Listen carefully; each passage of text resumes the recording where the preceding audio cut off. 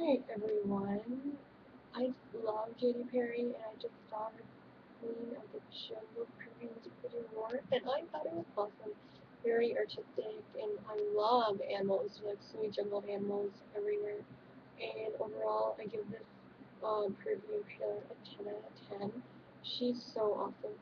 And I just love the fact that like how she's swinging down like you know if you ever watch like Tarzan I don't know if you've ever seen that it reminds me of that. But anyways, yeah, so leave a beautiful comment below and letting me know what you guys think. And um, check me out on Twitter. But yeah. I just wish that it was a full music video, but I guess everyone, you know, thought that way too.